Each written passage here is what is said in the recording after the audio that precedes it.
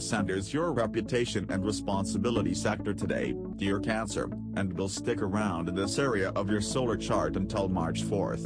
You're bringing more creativity, grace, and charm to your work in the weeks ahead, or opportunities emerge to socialize and network through your business or career. Improved business relationships and enhanced relationships with the parent, boss, or superior can figure strongly now. People more readily recognize your artistry, taste, or creativity. You are bringing extra magic to your work, or you get the chance to boost your reputation during this cycle. It's an excellent time to make happy connections through your career or to more thoroughly enjoy setting goals for yourself. Creativity, good love, good business, excellent.